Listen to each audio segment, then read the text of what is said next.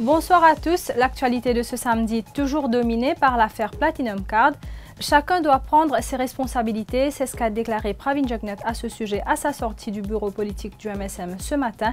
Le Premier ministre dit attendre de voir comment la situation évolue avant de tirer une conclusion.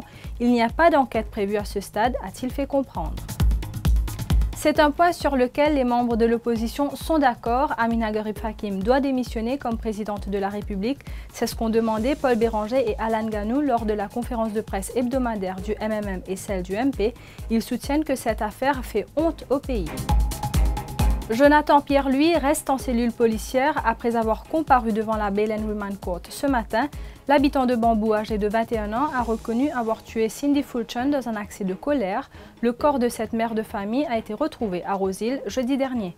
Merci d'avoir été des nôtres et bonne soirée à tous.